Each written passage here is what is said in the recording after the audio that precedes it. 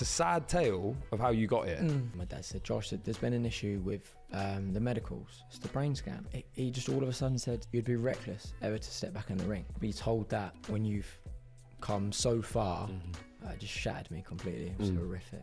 Would you still box if you could? I'd put my running shoes on right now and, and go and box. This is the George Groves Boxing Club. I'm George Groves. This is Dec, and today we are with Josh Pritchard. Yeah. So the last that's- final remember of the of the um, Shane McGuigan's gym. Maybe Well, ever we've on got the pod. Lee now. Oh yeah, Lee Cutler, yeah, Yeah. Chaos Cutler. We haven't had him yet. Yeah. And another chap from the corner. Of course, yeah. My corner. Your corner too. Your corner. Yeah, yeah, not the s- Yeah. corner in Swindon. yeah I haven't done any decks. Nah. No, but Shane McGuigan's gym. That means we have to ask you first and foremost. Goat update Yeah. before we get into anything else. There's a pet goat in the stable, Mm. pun intended. Uh, what can you tell us about Goat Gate? Well, I have no idea about this game. I'm going to be honest.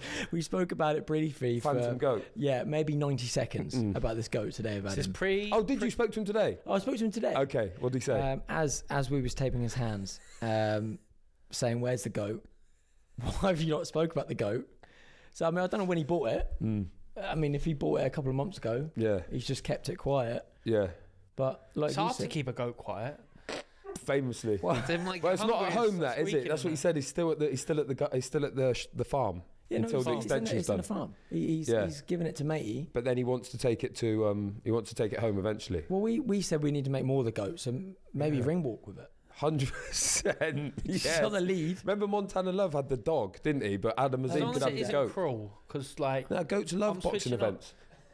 Yeah, I've don't heard make that. it don't make it cruel. Yeah. Right? Don't make it do tricks. Yeah, we're here for goat goat uh, rights. I want to make sure it's enjoying itself. Like like Mm. a cruff. Give him a Is there little a crust for Timazine goats? top. Yeah. Has it got? I mean, hopefully it's got the horns, so it looks pretty mean. Yeah, I've not seen a photo of it. Tootsie. Yeah, neither have we. He said he'd send us a picture because I was of the opinion. I was like, does this even exist? Has he just imagined it? Yeah, well, well Until we see it, it's like a phantom girlfriend, isn't it? It's like, has he really got a goat?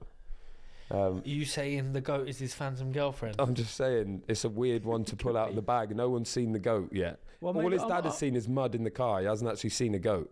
yeah. Even Hassan hasn't seen it. Uh, He's seen the mud in the car. Yeah, that's all he's seen. Right. Okay. It could be an elaborate um, sort of alibi. That definitely wasn't Hassan just walking down the back. seat. Right, listen.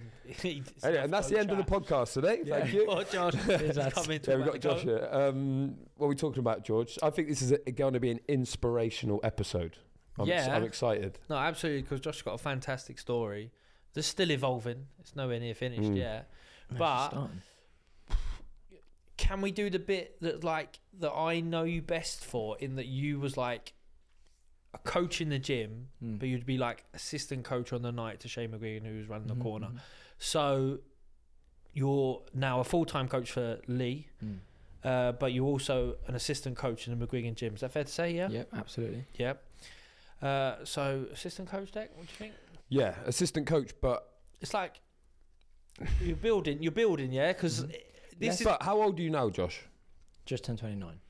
So 29 year old assistant coach. So that's where the that's where the beauty of this story is Mm. because there ain't many 29 year old assistant coaches in a in a stable and a gym with multiple world champions and whatnot.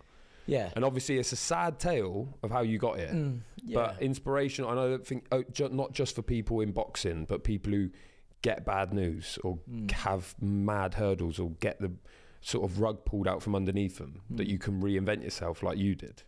But Yeah. yeah, and you you were Geor- you were assistant when you were boxing, so that was five Yeah. years ago. So you were 24 then. Yeah, so I mean, I, I I was with Shane and Barry when I was 20. So this is like my 10th year Oh, with the family. Get a testimonial Yeah, so a watch, maybe. or a goat. I'm happy to watch. I'll go. Um, yeah, I mean, I'd like to say that I've served a pretty cool apprenticeship. Mm. How did Right. you first meet the guys? Like, So obviously I know, but for the listeners- yeah, so I had a phone call. My old man had a phone call um, to come up and spar Frampton when he was boxing uh, Kiko for his world title shot, and um, he had some sparring pull out. So he Barry called the army. I quite often went up the army as an amateur, sparred all the lads up there, and um, they said Barry got no one available, but we have this lad aggressive, come forwards, his name's Josh. Here's, here's his dad's number. So Barry called my old man, and um, they obviously had a conversation about it. And then my dad called me, and I remember, you know, as an amateur, where you always have like six weeks off, well, not maybe six weeks off, but you have a break after the season's finished. Mm. So I was in that period, and I In was just- summer? yeah. Yeah. So I was just ground working at the time. So I was just like digging footings, in drains, bit of deep drainage, just you know, working the road as such. And uh, my old man called me. He went, "You never guess who I just got the phone to?" I was like, "Who?" He went, "Barry McGuigan." I went, "Oh yeah." He went, "You want to spar Frampton?" I went, "I ain't sparred yet. It's still the end of the season. I'm not really been in the gym, Dad. You'll be all right. It's tomorrow." I went, "Sound." I asked for the day off then. so I went to the foreman. You were 20. You were yeah, 20 I was one, 20. Yeah. yeah, So I went to the foreman and he said, uh, "Well, we sort of need you tomorrow." I was like, "Come on, give me a day off. Like, I gotta go." So he gave me the time off. Went up there. It was like the weirdest thing, like seeing people who you watch on TV, sort of seeing in many interviews and whatnot, and then seeing their faces in the flesh. I was like, "This is bizarre," and um, obviously I was extremely nervous. I think he had Gary Buckland in there sparring the He, first. he's mental as well in Buckland. Yeah, he used to wear like a scrum cap, like a rugby scrum cap rather than a head guard. And no, and no hand wraps, I've heard as and well. gum shields. Didn't rate gum shields either. so um, anyway, he done like I don't know what it was, six rounds with him or something. Maybe he was doing ten, so it was like six and four, and I was finishing off the last four. Had you been in the pro gym at any point up until? I sparred a couple local pros when I was like growing up, Where was local for you? Portsmouth. Mm. So like local pros there from like when I was 16 to like 18 or started like mixing with them a little bit, but not too much to be honest. Yep. and um, yeah, so like, I, so Gary does the, the first six. Um, I remember it was the first time I've ever been asked to check the gloves or anything like that. You know, like when you go into a pro gym. So like Barry come over, swap my gloves over. I had these. bra- I was gutted. I had these. My mum and dad bought me um, these Reyes, these yellow Reyes gloves, brand new, never been worn because it's our season. Barry went, "Oh no, put these on." So I was thinking, "Oh, okay, I really want to wear them, but that's all right. Okay, we'll just do that. No worries." Um, swapped the gloves, warmed up, jumped in there, and uh, I remember Dad saying, "Just you know, just be be defensive, but just hit him as hard as you can." I went, "I'm good at that. Okay, all right, I'll do that." um, and that was it. I'd done done four, made a good account of myself, and um, the rest is history. That was that was it. Got sort of a a call back to finish the rest of the camp in London, which I was absolutely buzzing with, and um, and yeah, just all it all went for there really. That basically proves then the callback means this kid You're was in. decent. This, this was good. Mm. It means like job done for you. Well, yeah, it, I think it just means that it's you know it's good work for us. Yeah, Do you know what yeah. I mean? Like you're you're obviously a talent there. So, but yeah, once you get the call back, that, that's it really. So I just done the best I could. Barry said, "Can you do six next on ne- six next rounds?" And I was like, "Yeah, I think so. Okay, all right, yeah, I'll do that." And then that that was it really. Mm. How how? So you're an amateur at this point, boxing three threes. Free freeze. Yeah. So had you done like how? What was the most rounds of sparring you'd done in, in the club, like back Probably to back? like five. yes, you'd never really really done. Yeah, yeah. Yeah. With and then with a pro. Well, yeah, like I mean, like down in Portsmouth, I never really had much sparring. Like we used to go to boxing three days a week or, or something like that, Mm.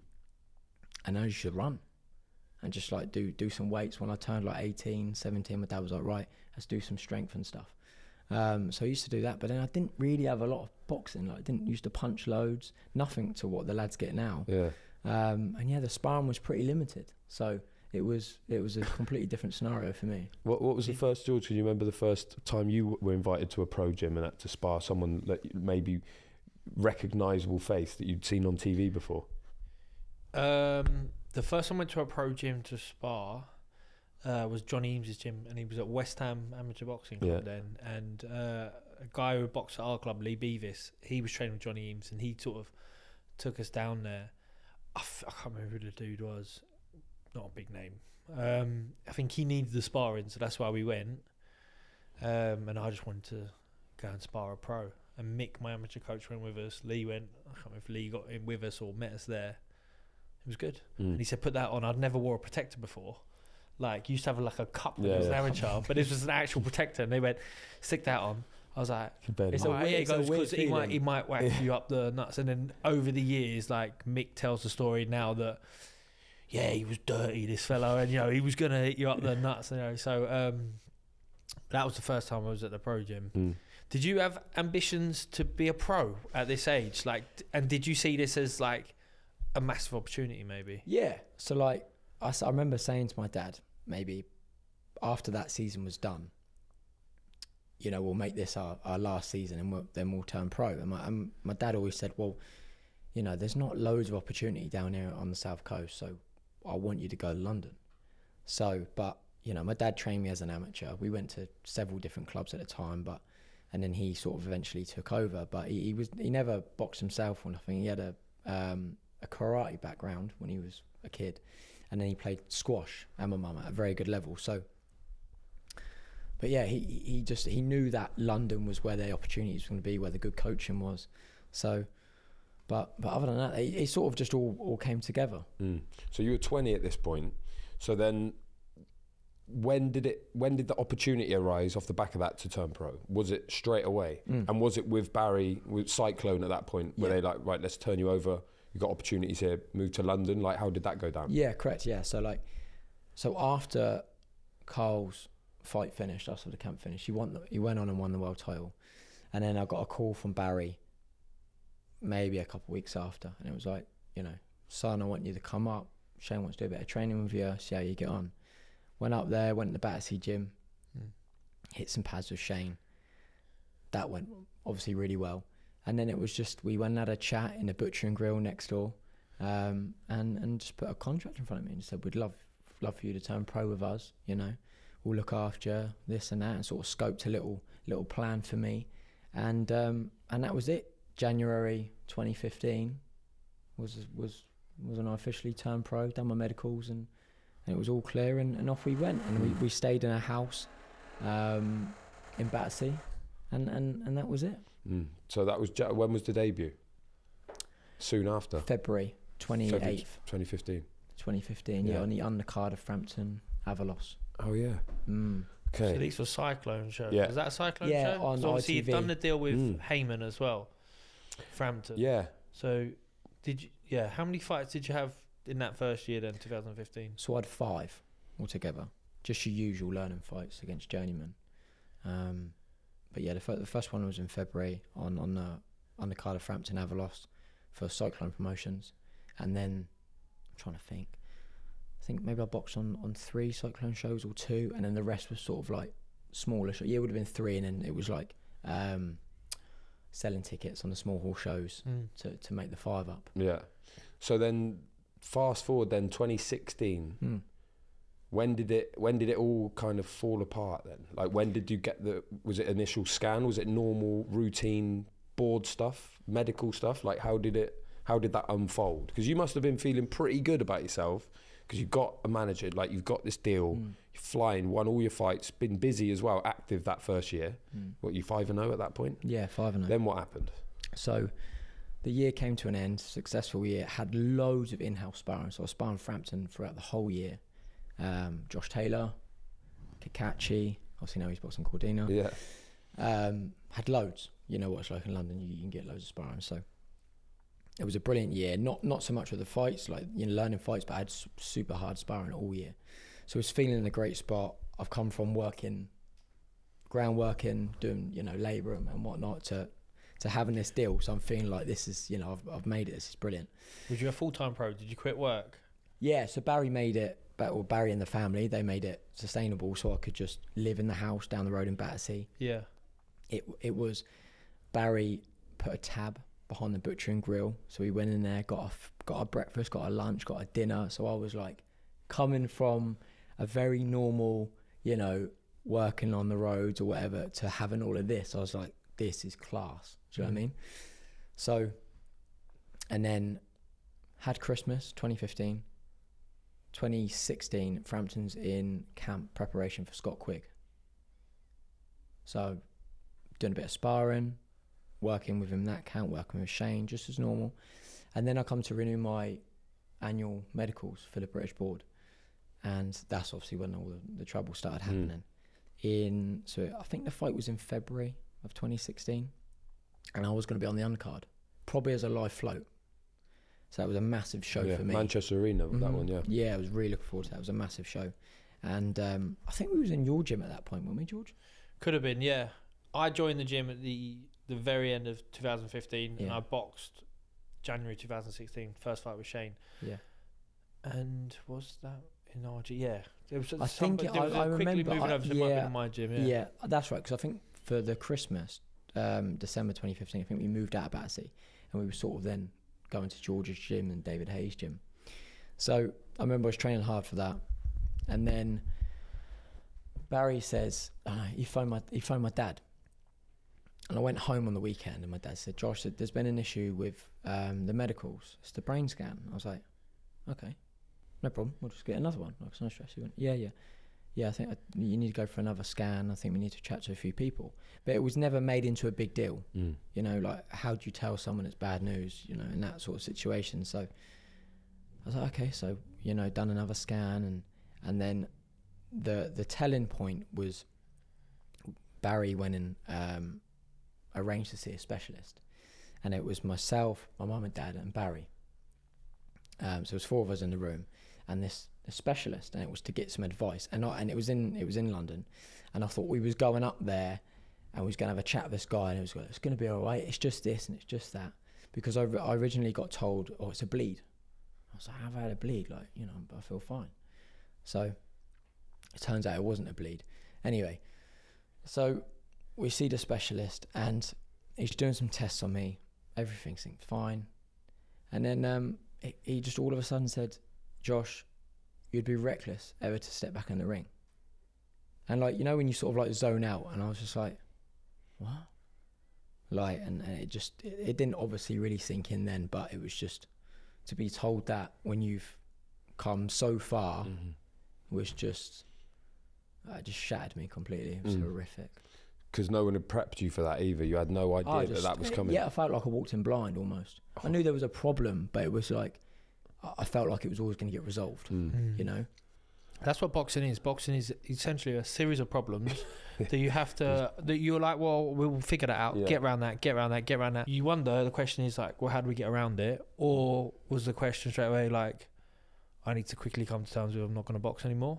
Do you know how you felt right there and then? Well, it of course at the time it was like, well, we're getting a second opinion. We'll get a second opinion, and and we did. So the the British board said, right, we want you to go see this specialist down in Southampton, and uh, so we done that, and it was of his opinion that I was fine to box. I was like, okay, wicked, that's great. He he. So I've got something called a cavernoma. So he specialised in in that sort of area. He was like, fine, you know, rugby players have got it, absolutely fine. There's no sort of extra danger through trauma for this thing. I was like, okay, that's fine. So I felt you sort of got a little lift. I was like, okay, cool. And then went and got another opinion from a guy who specialises in cavernomas, and he was a professor in Edinburgh. And um, Barry paid sort of a lot, a lot of money for him to come down and have this meeting with the board. And it was of his opinion, I was fine to box. But it was right around the time that Nick Blackwell had his incident with Eubank. Um, and I think there was another couple of sort of fatalities around that sort of time. And it, it felt to me that the board already sort of made their opinion of it before I even went into that meeting. So, yeah, I, I did have a couple of opinions that I was fine to box, which was um, a bit of pillar, a bit of pill to swallow. Um, but I think the board sort of because of the fatalities, they sort of was like, I'm not going to risk this. Mm. What's a what's a cavernoma? Were you born with it or? Yes. Yeah, yeah, So I was born with it. So the, the point is, is that they missed it in the first game. yeah. But the problem is, is obviously each year they're developing these new machines. They're they're clearer and clearer and clearer. And as we know, more and more people are failing brain scans. So it's, I think it's just going to continue to get worse. But so, yeah, it's, it's, it, it was it was a, it was a tough one. Yeah. If um, on the advice that you've been given from all the people you spoke to, would you still box if you could? I'd put my running shoes on right now and, and go and box. Hmm. Could yeah. And there's places around the world where you could box with what Yeah. you've got, yeah. Like Well- there'll be states in America that would. We we sent Get it your to, we sent it to the states, and I think like Texas were like I'm an Aaron, Nevada. I'm not sure if they said yes or no. So I don't think it, it- wasn't looking good either way. And, and obviously, if you're going to be in the pros, you want to do well out of it. You want to build a, a following and you want to, you know, obviously earn money out of it because you, you're risking your you're risking your life doing it. So if it wasn't sort of a definite yes and w- worth doing, if I had to go abroad and, and maybe not not build a fan base and like what what you know it's gonna be it's gonna be a struggle. Mm. So. So then, what did you? At what point then did you go? Okay, that's I'm not gonna box. Well, I'm that- not gonna do that. That must have been the big decision. That Yeah, was I mean, 2016. Yeah, that, so that whole process sort of dragged out with the meetings and whatnot, the board, Mm. that dragged out the whole of 2016 pretty much. So after getting told that, I went back to Portsmouth and I was going up and down to London in George's gym and in um, David Haye's gym, training with Shane here and there, probably like three days a week. Um, obviously, not allowed to spar, of course. That's what the British board said because I was suspended. So I got a part time job at Michael Kors selling handbags. Oh yeah. Any good? Um, very good. Yeah. For some reason. uh, but yeah, got got a part time job. So that was tough. Obviously, going full time training with Barry and the team and Shane, and then going to get a normal nine to five again part time. That was pretty tough. But uh, so that that made up a 2016, and then on New Year's Eve, I think it was, got a call from Sandra, Barry's wife, Shane's mum, and she said, uh, "Hi Josh, how you doing?" On whatever day it was, the seventh of January, whatever day it was, would you like to go to Vegas? I was like, "Yeah." Do you want to work with Shane? Like, you know, help Shane out, sort of be, act as his assistant. Yeah, you know, like, we'll we'll pay you, we'll do give you a salary, and and I was like, yeah, this is way better than being a Michael Kors, absolutely. So, but I think I, I was at that time, and even after that couple of years, really, I really wanted to box. You know, like that that. So like the coaching thing, I was absolutely loving what I was doing with Shane. But in the back of my head, I would really struggle to process. I'm now not boxing, you know. Mm. So, but You didn't show that. You did really well Mm. not to show that yeah, in the gym. I think it was an intense time in the gym, and then they Cyclone had that show at the end of t- 2016. They promoted it. I'd boxed on that show and fought Eddie Goodneck to oh yeah. collapse in the changing room. Had a um, a bleed on the brain, I think, or something. You know, so it was it was you know we had Nick Blackwell in the gym for the camp that he had with Eubank where he got injured. Then we had this and we had that, and then you're in the gym. And I remember when I first heard the news about you, I was like, I should get fucking have another opinion. Like, you sort Yeah, he's out. fine. It, Yeah. yeah. he's fine. He's fine. Just Mm. Walk it off. And then it then like no, but then you're like you're thinking, oh, actually no. Um, what if something bad did happen? Like that's it's brave and gutsy. And it's got to be horrible for Josh, but fair play to him for for not like fighting it Mm. and and sort of reinventing yourself in the gym Mm. because he was great. Like Mm. he was great, Thanks.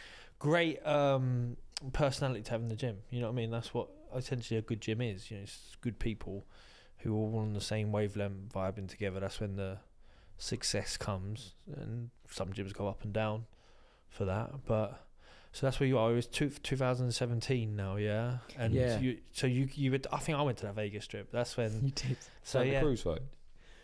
Uh, yeah, Yeah, yeah. yeah. two. So Santa, Yeah. Santa Cruz, we all stayed in the Frampton Mansion. Um, yeah, uh, Shane said, "Come." I was like, "It's Frampton mind?" Like he said, "Dad, we've got a massive house. It's fine." I said, "You sure?" Because I, I knew Frampton, but I never really spoke to Frampton like that. Mm. You know, paths never really crossed. And um, so yeah, we went out there. It was a good little trip up until the end when you know, Mm. I think Frampton, Frampton, that's when Frampton got beat, and Yeah, Santa Cruz the- got yeah, beat. last- yeah, on point. But um, yeah, I'd been on the scene long. Uh, it was good, didn't it? Josh Taylor was out there. He boxed on the undercard. He boxed right. well. Yeah, he did, yeah. so that that there, that was my first introduction of being in the corner with Shane. Fucking hell. Not a bad Las show. Vegas. Yeah, Yeah. Not a bad show to turn up to. So, so yeah, so that that Vegas trip was was we out there for like three weeks, maybe. He was out there for a few weeks. I don't know if Mm. I was out there the whole time. Mm. You guys might have I got it think the before boys were out there for a little bit longer, but I, I Mm. think I spent maybe about three weeks, maybe just under. But I think it was three weeks. Do you think? Um, do you think being in the gym, getting that opportunity straight away, to be back in the gym and to be back involved in boxing, made it harder or easier the, to come to terms with the fact that you wouldn't be doing that anymore? You wouldn't be doing the punching anymore. Well, I think it did help, but it also made it worse. Kept you there. it's sort of like I think people when they finish boxing, they sort of almost have a break from boxing mentally, and then they go into either managing, they go into coaching, but they have that break Mm. from being a fighter, where I didn't. So I think like I was looking at it like I'd maybe watch people spar and think, yeah, but I'd do this and I'd do that, and oh, I'd love to have a go. so it was like sort of like I had no break from it really, but look, I mean, I got given an amazing opportunity. Like, there's not many people that are given that opportunity. So, and I think there's thousands of people that would love to jump in my shoes and take my job of being on being on the um, being on the team and Mm. working under Shane. So, you know, I, I knew that I was given an amazing opportunity. I took it with both hands. So, but you know, what it, it was a it was a difficult time for myself. Mm. What was George like? Because that, that Shane, Shane had been be as harsh as you want, but Shane had been obviously with Frampton, but you know, like then then there was this change, Mm. and then like David Haye was turning up, and like George Groves was there, and then suddenly you got massive names there, and Shane is now the head coach for big names in world title fights and stuff like that. What was it like? What was George like at that time? Wicked. Yeah, a great personality. Like it was, it was, it, it felt really, really cool to to to be in that stable, um, and to have the big names in there as well. So you know, D- David Haye's a character as well. Um, that was obviously the first time I, that I met David. Wa- Was it was in the gym, but um, it, you know, George obviously brought a lot of experience, and, and so does David as well. Um, but Shane was busy at that time. Like he was floating from from gym from George's into um, David's until we got a solid base. Um, so I think that that was a, a stressful time for, for Shane to, to work with that. But for me, from like terms of a coaching perspective, like I've never coached before, and then to- never. Not No, even at the club. You'd never done anything. No, Held pads. not really. Wow. So it was like I had to learn quick on Yeah, the job yeah. here. So that's what I'm saying. Like Vegas was very much like, okay, I'm here for three weeks. I'm watching Shane, you know, like everything he does, like tape and hands. Because obviously in our gym we tape everyone's hands. Like I don't think they do that in a lot of pro gyms, Mm. but we make sure everyone's hands are taped. So I had to learn the system quickly. Obviously Shane used to tape my hands, and I used to watch that. I was quite observant with that. Knew how it felt. But to then go and do it on other people was was interesting. So um, I remember after the Vegas trip, Shane went with David to Miami, I think, to train. That So was the obviously- Bellew fight, wasn't it? Yes, Yeah, first one. the first one. Mm. Uh, was it? The, yeah, it was. It when was. they drink drinking the protein On the shake yacht. in the martini glass. Yeah, right. So I went back to, I think I went back to Wandsworth, and I was, you know, loo- looking after the gym and and whoever was in there, trying to take him through conditioning sessions. And I remember Shane. I remember texting Shane, going, "Look, Shane, I've um, I'm practicing taping hands and stuff." And I was taping hands on Daryl Richards, um, the old S&C coach, and um, he was like. Shane said, "Send me a photo of your work, mate. I got got to see, got to see it." So I sent him a photo. I was like, "Yeah, it's pretty good, mate. Do this and do that." So, but well, that was it. I dived straight in. Mm. So, your mindset at that point, you're like, right, well, eyes open, got to learn loads. Um, was you ready to like f- voice your opinion on stuff, or are you just thinking, nah, Just let's just back sit a bit, back and yeah. hang back? Yeah. yeah, of course. Like, I mean, it's this is this is like rules for any Yeah, yeah. uh, for any up and coming wanting to be uh, future well. I think coaches. I think obviously you've boxed yourself. You've boxed at a, you know a good level in the amateurs, and then you've you've turned pro. So you have a good base knowledge of, of boxing and of understanding what works. But then to then to sort of switch on your coach's brain, not everyone boxes the same as what you did. Then it's then learning each individual athlete on, on what works for them. So no, so I, I definitely didn't start shouting advice when everyone was sparring. "Oh, George, no, go southpaw, mate. No. um, so no, I I very much sort of hung back, listened, learned, sort of understood, and then over over the years, I've I've learned Shane's sort of way of doing things, how he sees it, and and then having a just a, a great base level of knowledge of, of what works and what doesn't work. Because that, cause at that time, correct me if I'm wrong, both of you, but Shane was under a little bit of scrutiny as well because he would have David Haye, for instance, older than him. You're older than Shane. So he's Mm. you, you got, and then Shane's in the corner telling you what to do. He has to back himself that much Mhm. to be like, "This is what you should do, mate. I don't care what you've done before, and if you say this is wrong, I can imagine David Haye has his own ideas about how things should be done and whatnot." Did you ever feel like that? And how quickly did you go "Oh, right now? I just trust this person completely.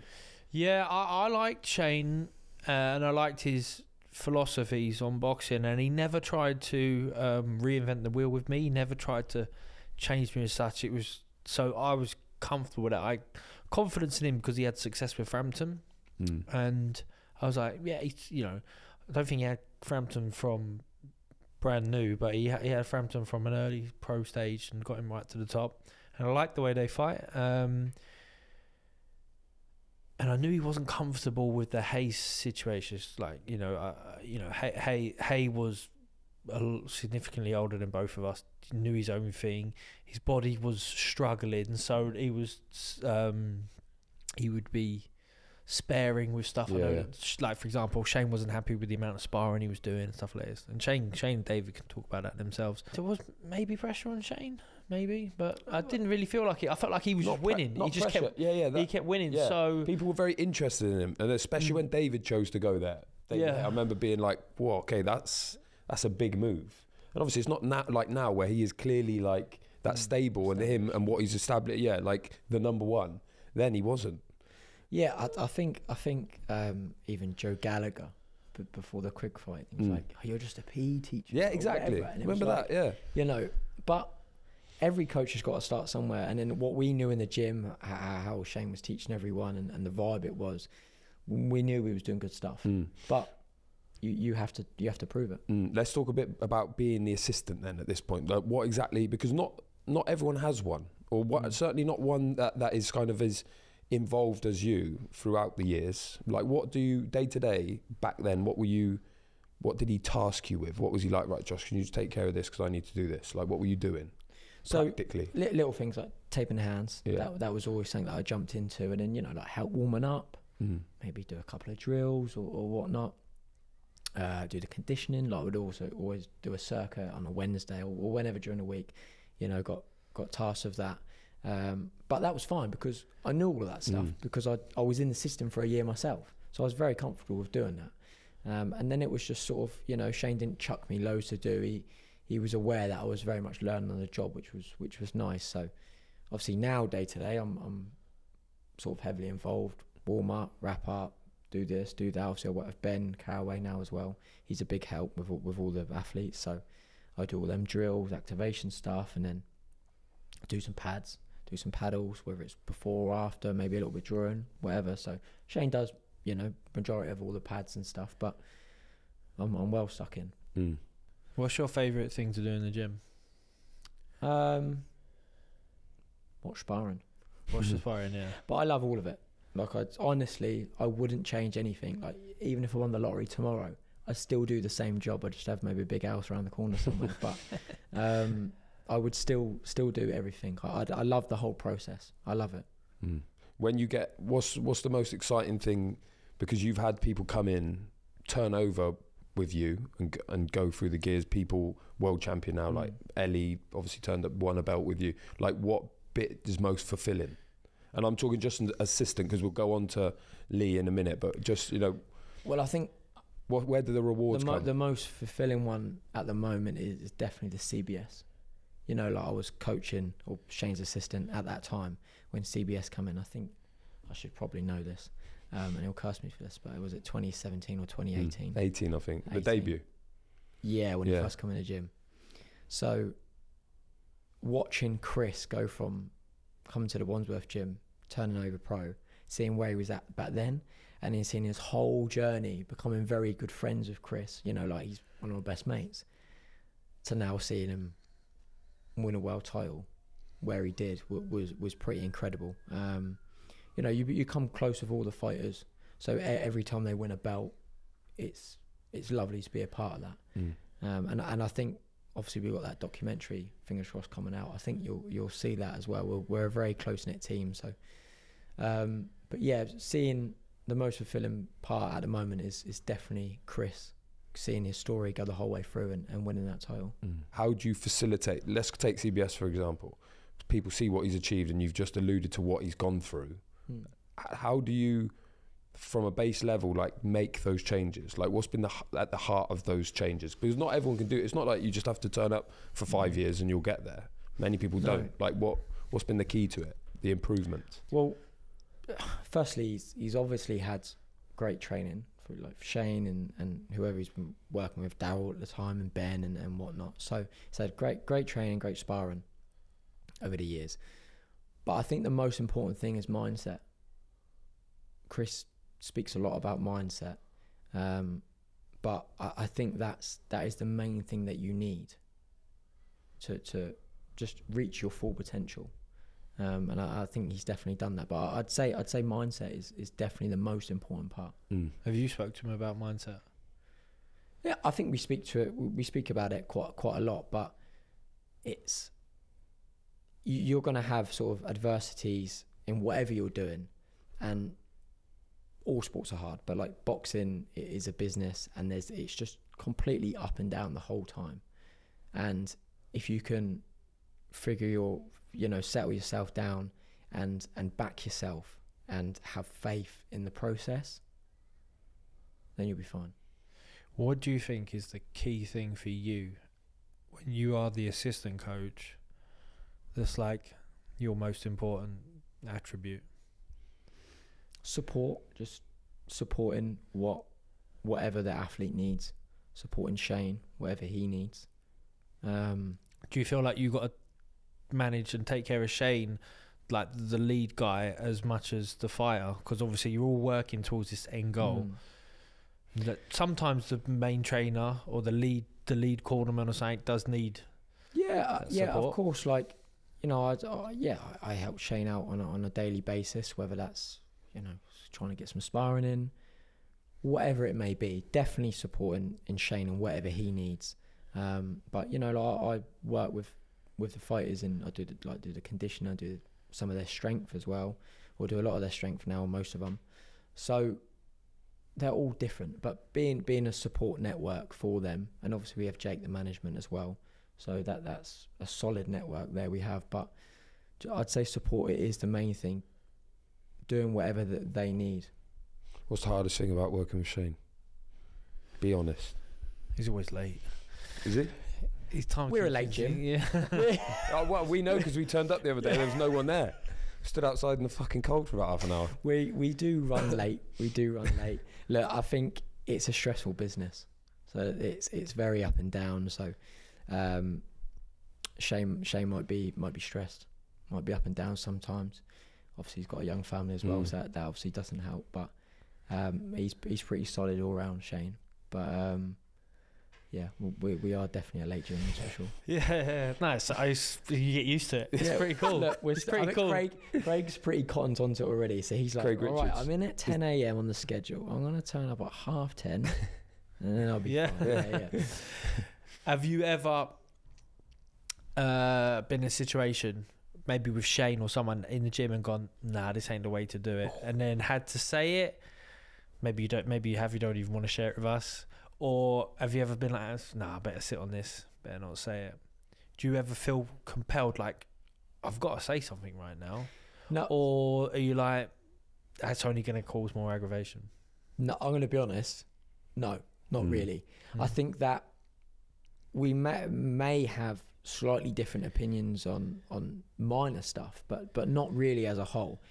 And we're quite open. Like we'll chat about that. And I think we all do as a team, like especially CBS and stuff like. But well, I think he might need some of that, or do you think that would work against that? And then we each might have like a minor difference in opinion, but it's pretty much it's pretty much similar. Um, and and we're pretty open. We, we we'll chat about it and discuss it and, and What about if someone new is going to join the gym? Will Shane say to you, "What do you think of this Yeah, of course. girl?" yeah yeah definitely. You're, I yeah, think I think you, you touched on it earlier about making the gym a good vibe. yeah. Like that's really important.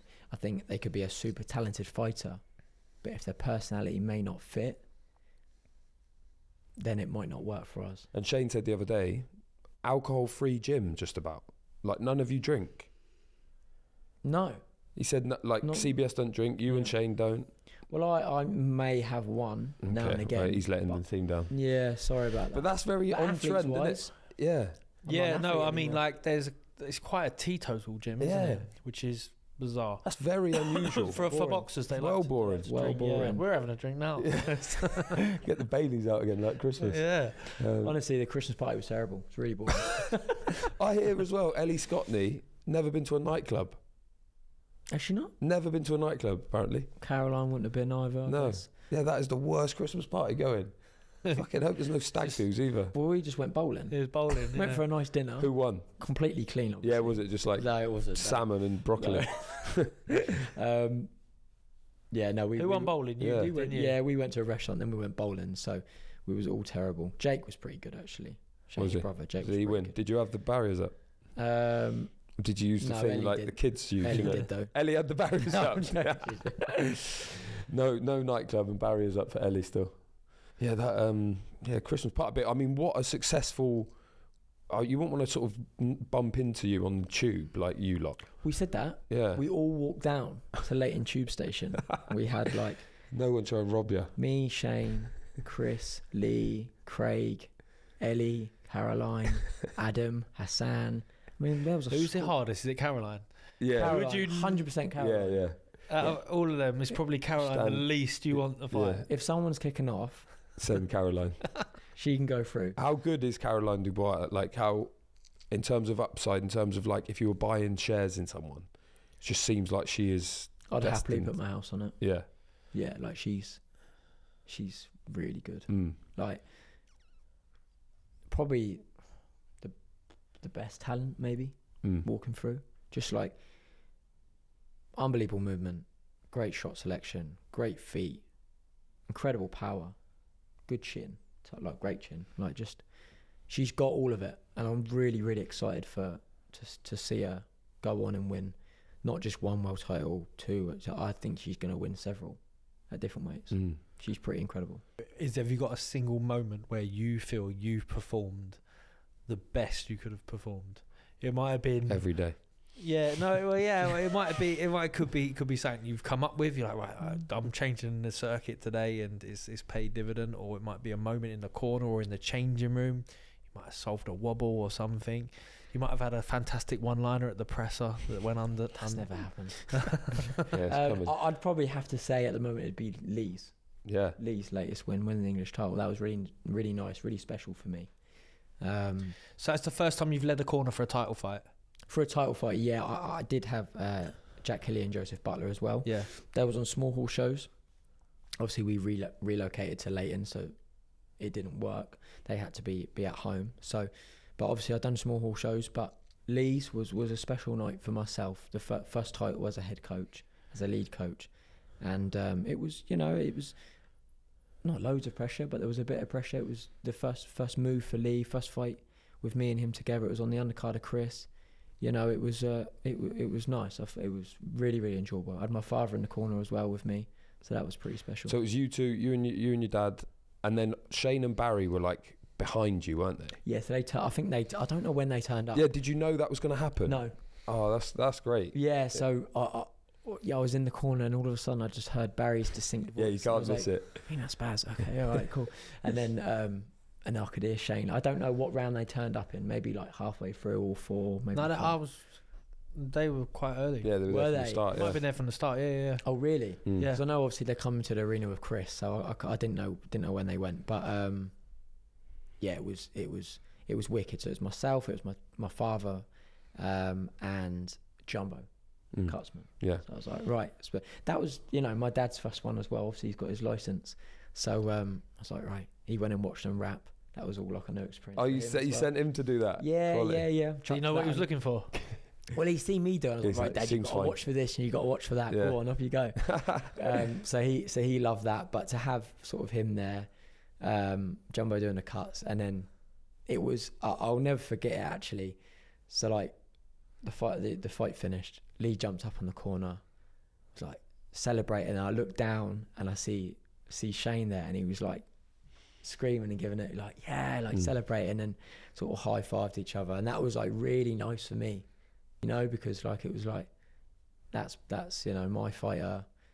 I've only worked with him for eight weeks, but to see Was that Shane, all? to Eight weeks? yeah, to Yeah. see Shane and Barry really happy, like that was that was lovely. I really Mm. enjoyed that. What's the single best bit of advice you got from either of those, Shane or Barry? Does anything stand out? Mm, Because that's a big change for you at 20 years old to go up there and become an assistant. Like, did anyone say anything like, you need to do this? I wouldn't say there's nothing that, that stands out, but just constant positive um, reinforcement that you know you're you're doing the right things, you're, you're good at this, or you're, you know just constant reinforcement Mm, bu- builds confidence. mm. Speaking of confidence, George, I've got a feature we've got for a you. feature, I've yeah. got a feature, yeah. I mean, you uh, should have a break and then we'll come back. Cause is this the best one? we've This done? is the best feature. Is it number we've one? Done, yeah. It's Numero uno? team teamwork. This one. Is it? Yeah, you two are in a team together. I've actually got. I, I do want to say a little story about George. Do it. Yeah. Yeah, now's the time. Come on, hit us. Better be a good one. Oh yeah, actually, yeah. Hold it, hold it there, because we could probably sell some adverts here and people to come back. yeah, we'll have a break there, and then we'll hear your story. Can't wait. George, remind me again how to become an elite club member. Well, get a GGBC cap. Done. What else? Well, you could wear the hoodie. Anything else? Well, have you got a water bottle? Anything else? You could get a print for the wall. It's cost me a fortune. Anything else? Well, this is what it takes to be elite Dec. Does that mean I'm in the club now? Nearly. One last thing. Just hit the follow button in your podcast app. Welcome to the club Dec. Oh, we'll have a push and a pull, mate.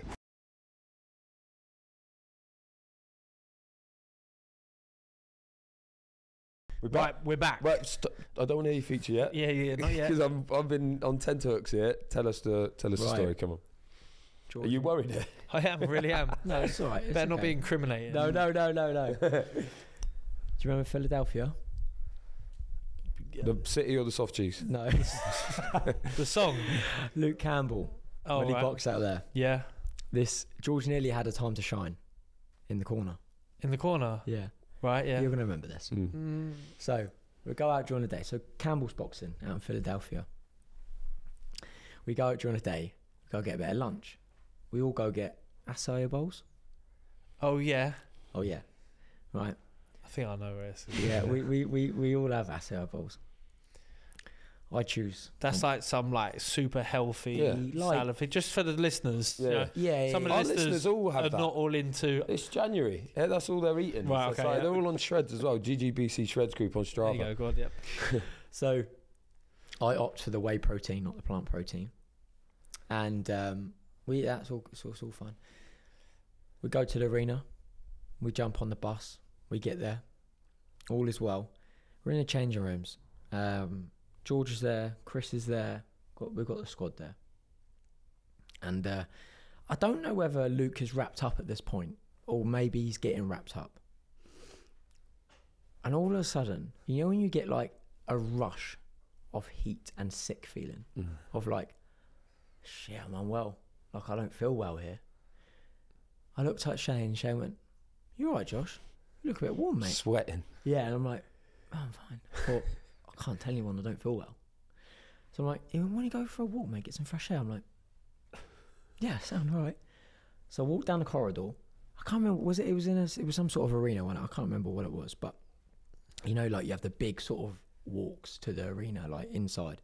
So I'm walking through there, and you've got all the change rooms on the right hand side. I'm walking through. I'm like, oh, I'll be fine. I'll be fine. Just need a bit of fresh air. I'll be all right. So I like walk down the corridor, turn out into where the state, where the ring is, where all the stand is. So I'm all there. Uh, I feel sick. I'm gonna throw up. So I turn around and I run. I run back and I burst into the nearest locker room. Campbell's opponent. Turns out it's the main events dressing room. Oh fuck. but they're not there yet because Luke was on a little bit earlier. and uh, in this locker room was like benches, hooks, like a proper like sort of school dressing room. And then the bathroom was at the back with a curtain. Burst in, didn't even make the bathroom. Just spewed all over this floor. Just projectile everywhere. And it comes out red. That was the acai bowl. Oh yeah. And I was like, it done it like twice or three times. I was like, oh, oh God, got my t-shirt, wiped my mouth. I was like, I can't tell anyone. Burst out the dressing room, thinking, oh, the main event's going to walk into that. Yeah. Right, 'cause they've not, they've not DNA. got there yet. Right. so I walk back. Right, I can't tell anyone. It's fine. Don't want to worry anyone. So I go back in Luke's dressing room, warming up. Everything's fine. Shane's like, "You good? Yeah, I'm like, yeah sweet, mate. Absolutely fine." Better out than in. Change my t-shirt quickly to a different one. He's like, "Okay, right, moving on." Anyway, we get the knock. Oh, boys, ready to go? I'm like, got my bag ready, got my stopwatch, got my water, got my towel. Get into the corridor, walking down. Luke's in front, Shane's there, George is next to me, got the cameras walking behind. Okay, right, you've got this. You've got like 36 minutes max to hold this sick in. You're fine, you're good. Get there, all of a sudden, vroom, it's there. So- you know when you get like that in your throat, like I turn around to George, hold this, give him the little corner bag, run back to the dressing room, and we had another lad in there as well. He was fighting next after Luke. Yeah, it was Nevin. No, That's it. John Joe John Nevin. Joe Nevin. was it John Joe Nevin? Yeah, I think so. Yeah, yeah, yeah. Yeah. Run back and he like looks at me, and I run back into the bathroom, burst the curtain, just throw up five, six times. oh my god, the smell was horrific. It was so bad. Run back, like running. George is like, "This is my time." Yeah. I'm in the I corner. think I think got I can't stuff? remember the exact story now, but I think at Shane I said Angelo he, Dundee. he, he's he's he's dying. You can't have him in the corner. Mm. I'll do the corner. he's come all the way to Philadelphia. I'm stealing his pineapple. I'm like, yeah, you can't have him in. He's he's he's, He's knackered. fucked, he's poor Josh. Give him the night off. I'll do it. So I run. I run all the way back. Get there. Cheers, George. Thanks, mate. He's gutted. oh, Right. So I'm like, go on. got the elbow. So I sit there, don't remember any of the fight really. All I remember thinking was stop him because I'm going to throw up at any moment. stop him. Right. Anyway, Luke does stop him. Yeah. I don't know what round it was, but he stops him. First round, you're like, go empty the tank, Yeah, Legs. um, yeah, lions in the camp and all that. Yeah, yeah, yeah. Yeah, no. So he stopped him. After the fight, get back. Shane, I'm really unwell, mate. Are you? Oh, mate, what's that smell? It's horrific. That like poor John Joe Nevin. It's, it's just horrific. Anyway, so I'm like Baz, like I'm really unwell here. He's like, okay, cool. All right, son, I'll get you. Get, we get on the bus and we go back. And I remember sitting at the bus. You know when you're unwell, you're not at home. You just want to be at home. Do you know what I mean? Just anyway. So we get back. Fortunately, I was sharing a room with Chris, right? And if there was anyone I'd want to share a room with at that moment, it'd be CBS because he's gonna look after you, right? so I've got food poisoning, Yeah. right? So I'm just up till like Should have got the plant protein. yeah, should have Mm. um, just up till like two a.m., half one, whatever it is, just spewing. anyway, I remember Chris went and got me a, a ginger drink of some sort to stop me being sick. Good lad. Anyway, remember going to bed, waking up this day. Chris is like, right, let's take you to a doctor because we're flying today, right? I'm like, all right, yeah, cool. Go see a doctor. Yeah, cool. I feel great. Feel fine now. Okay. Let's go get some food. Don't know if you should eat right now, Josh. Like, you know, nah, be fine. Feel absolutely brilliant. Eat some chicken. Okay. All good. Yeah. Right.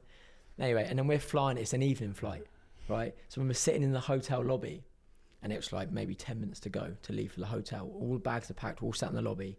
George is there. Everyone's there. Oh, that feeling comes back again. Burst out behind me in the toilet, throw it all up again. And I was sat next to you. I was meant to be sat next to you in like uh, we booked our seats, and it was like maybe a little bit of extra leg room.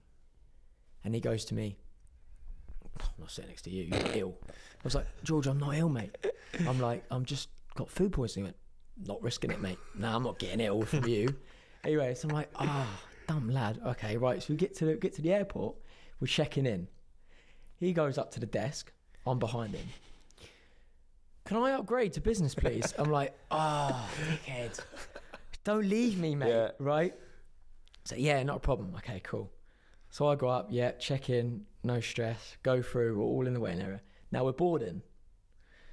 These lads all walk through, they're in now the tunnel, you know, the tunnel from the boarding to the plane, they're there.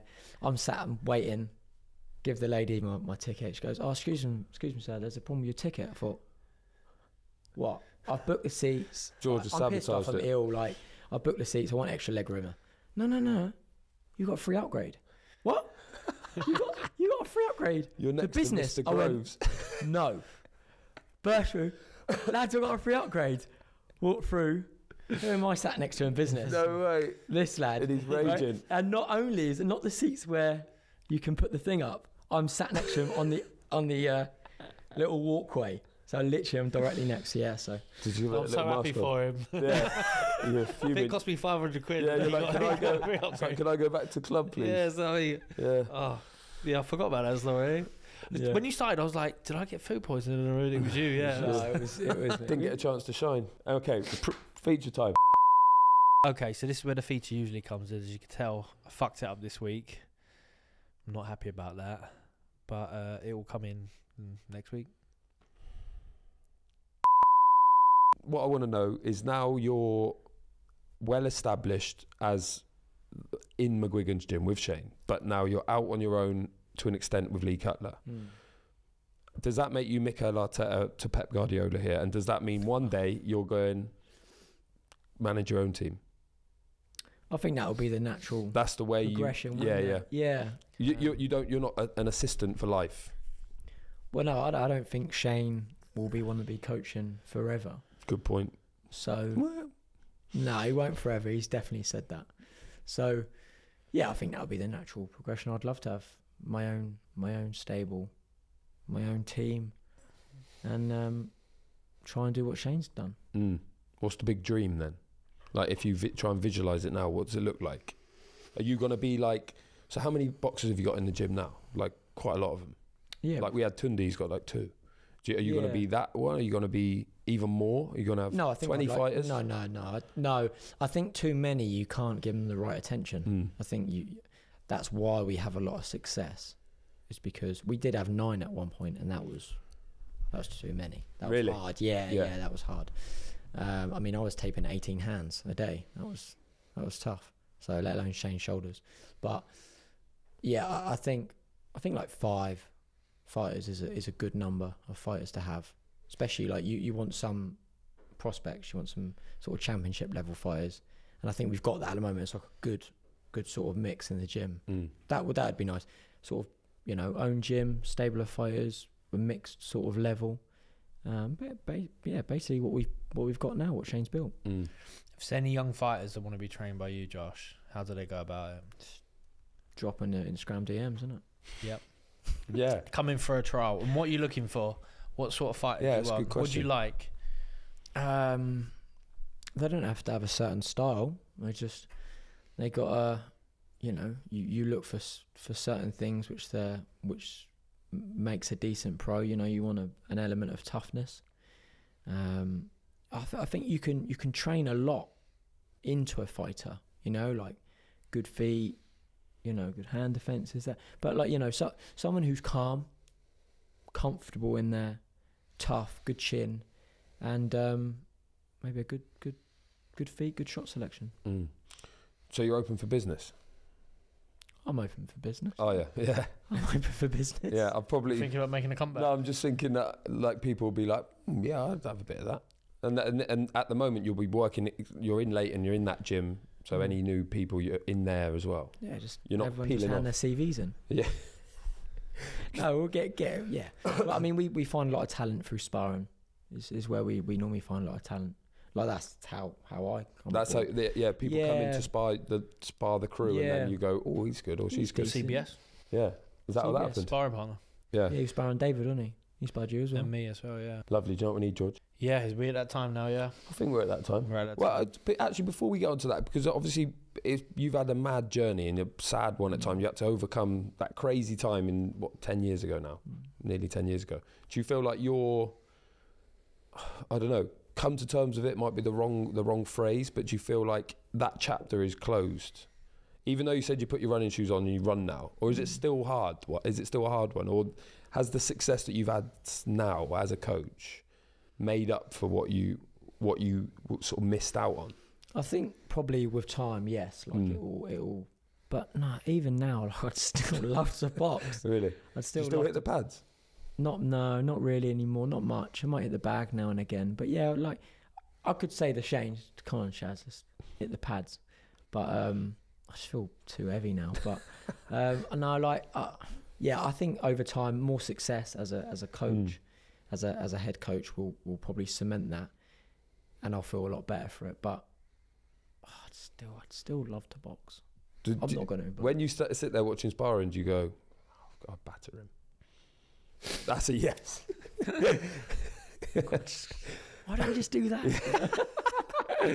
no, it's it's tough. It is tough. But look, I, I- I'm I'm in a in a privileged position. Mm. I've you know I absolutely adore what I do. So I wouldn't I wouldn't change that for the world. And I've had some brilliant experiences. I've travelled around the world. I've been in in world title fights with the likes of George and stuff. So that is it's incredible. What's been that pinnacle moment? That was it. The CBS in Bournemouth. It was it, yeah. stadium. Sorry, George, but it was it was the it I love you, was mate. No, similar, they've been on a bigger, bigger Yeah, journey, yeah. longer journey. Like Yeah. you know, It's been a long, um, long road. The you know the, the lonely nights in Kent, you know, and the Mm. dark, sad night, the tough nights, Nothing wrong with Kent. nights. I didn't No, no, mind. no. I didn't mind Kent. Yeah, I love I Kent. quite, I quite yeah. like you, Kent. you, you, yeah. you almost got, got married, didn't you? Down down in Kent, but I, yeah, I've got a girlfriend You because of got- Kent. you I, I, Yeah. enjoy- I enjoyed Kent. I Yeah, big, Yeah. Up, big up Kent. Shout Kent's out to lovely. Kent Mm. University. But I think I think that was I think for CBS that was like a bit of a tough time. You're so far away from home. you Yeah. know, yeah. That's a yeah, he trek, didn't, he didn't. He didn't enjoy Kent. Yeah. Mm. So um, was all and living plus it was you know they was at the Wandsworth gym. It's, it's like an enigma now. It's that's a, Mm. Wandsworth gym. It was so Yeah, good. I I remember loved it was that. great, That was so sick. Yeah. That gym. They had the little coffee hut outside. George used to pre-order his coffee on the train. yeah. Walk in. Oh, it was wicked. And you know, if I didn't have all these, the chance of jumping in with the world title fights, I wouldn't have my nickname PBK. Yeah, photo bomb king. Have you? s- Is we'll put some. We'll put. It was Photo bomb in- king. I sent some photos in. You just chopped. Yeah. just- I thought you were going to be Pretty Boy Kelly. no, No. I was the original. I was You way were the before- original way PBK. before. way before. Yeah, you'd see like King. George world title like this, and it'd just be my hands or my body just in front of Shane and George. I'm Always incredible at it. direct eye contact with the camera as well. He knew where the cameras were. Unbelievable. no one else does. I want listeners to go look through look through pictures. Send us the best PBK. It's, it's impressive. Someone find the best PBK. See if for someone us. can top Yeah, what you the come up with. PBK. Yeah, yeah, 'cause, yeah. Um, Oh, that's it'd brilliant. You'll never. People will never forget that now. No, every single Proper picture. PBK. Do you still do it now? yeah, I make a point of it. yeah, just slide in. PBK. Okay, well, PBK. We got your ring, your nickname. Forget the Punisher. Your PBK now. Yep. Need a tune. Yeah, what's your ring walk track, Josh? Has it changed? No, Yeah, I'd, I'd. I'd never really established one. All right, well, give us one now Now's for the our time. playlist. Oh God. Um, It's got to be all encompassing of who you are in your entire entity. Yeah, everything. Can't just be what's in the charts this Every week. facet of your of your being oh God, condensed into a song. What's your gym banger that you would take on the road? I'm gonna be honest. My my. I feel like I've got decent music taste, but the gym. Everyone does, that's what the why it's your gym, The gym's going to disagree completely. Yeah. I'm the gym DJ. Oh yeah. That's actually forget about everything. DJ That's my main role in the Yeah. gym. Is that I just have control of the speaker. oh dear. Yeah, and you can't please everyone. Mm. You know, like someone wants You some need to come to terms with that as a DJ, don't you? Yeah, Yeah. someone wants 80s. Now it's just whoever's in the ring, they get their playlist. Oh, okay, that's the rule. Yeah, yeah. So it's always, it's always Shane in Yeah, the ring, no, yeah, yeah. He's always I've got Ellie's, someone. I've got Ellie's personal playlist on Spotify, Yeah. which I may add she doesn't pay for. She has the Yeah, she The told me this. You've got to listen to adverts. yeah, it's horrific. Yeah, Ellie said she's still we're she's, on- if she's on the world phone, you champion. You could be midway through, and it'd just be just play a random advert. She's the world champion and she doesn't have Spotify. Shout out Spotify. Shout out Spotify. Get Ellie Scotney uh, Spotify login. Spotify, shout them out. But yeah, Ellie Scotney be she's the Uh, one. Music, probably a bit of Eminem or something. Oh, which one? That's a big. That's a big uh, vast I'm trying to think of the name it now. Guess who's back? That one. yeah. What's that song called? Get What's- it, Shady's back to the front. I think if I was a boxer, This I'd have looks that like a tune. doobie doo. Yeah, well, That'd it be would be the sick. comeback now after ten years. Back, yeah. Yeah. Yeah, What song is that? Anyway, it's, uh, uh, "Without Me" by That's it. Eminem. without me, Yeah. that'd be my tune. If I was if I was to do it again, Yeah, that's what I'd go because into. the because the sport feels so empty without you. Correct. Yeah, PBK, Eminem. That's brilliant. It's brilliant. Josh, thanks so much for coming in, pal. Yeah. This is uh, Nearly been- completed the set. Who we got left from the gym? Well, they Who did keep we adding more every time we think we're done. Oh, Chaos, Chaos Cutler. Chaos. Have you had Craig? Yeah, We've had Craig. Craig back in the day. We had him pre McGuigan's you Yeah. know, when he Oh, was I'd when be he was raw disappointed and organic. Now Craig he'll come in in all me. rehearsed and that, wouldn't he? You know, Mm. you don't get nothing out of him anymore. No, All he's, he's, he's a McGuigan man talking now. riddles and that. Okay, PBK's in the club. Thank you, mate. Thanks for inviting me.